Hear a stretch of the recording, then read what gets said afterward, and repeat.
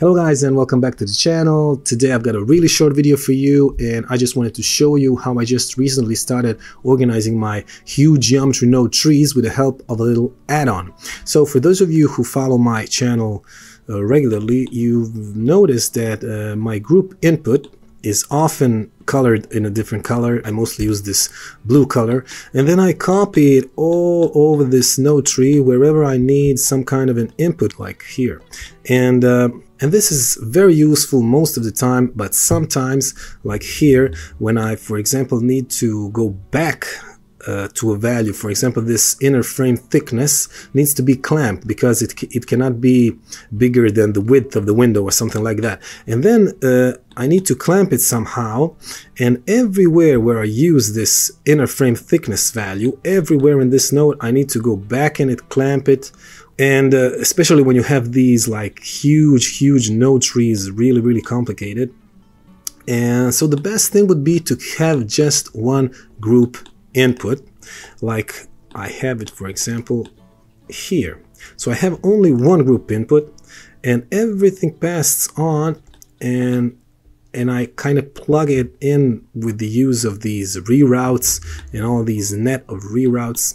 But the problem with this is that it's not really readable because uh, when I'm here how can I know what what kind of things I'm plugging into these sockets and uh, so I found a way that works for me and that's renaming the reroutes. So this is how you do it. Probably you already know so like this reroute and then you rename it here with. And this works perfect but the problem is when you have lots of lots of reroutes so uh, I created this simple add-on that helps you to label these reroutes more easily so here what happens if you have a reroute like this and you just press a shortcut it will copy automatically the name of the socket in between so no matter where you are it will just get the last reroute label and it will copy it to the next one. And it will also work for multiple reroutes like this. See?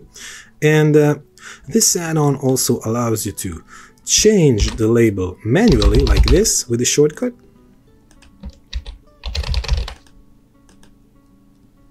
Or to clear all labels. Just like this.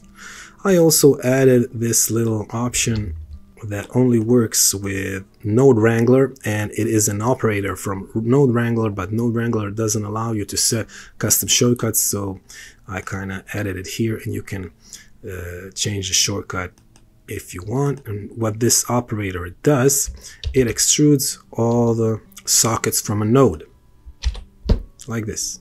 So in the preferences of this add-on which is called node labeler, you can set these shortcuts. Automatically rename your label with Y, manually rename your label with Control Y, and clear selected node labels, Shift Control Y, and that extrude sockets into reroutes. This is what we did here with Control E. You can change all of these shortcuts to your likings, and I will show you just part of this node how you can see that your node tree becomes more readable or at least for me but it's easier when you know that the thing that's plugged in here it's a random float and stuff like that. So uh, that's practically it. Uh, you can download this add-on from the link in the description and the add-on is not free in itself but its price represents just a small token of your support that helps to keep this channel alive and keeps me motivated to keep working on giving you all the other add-ons that I've already created and the ones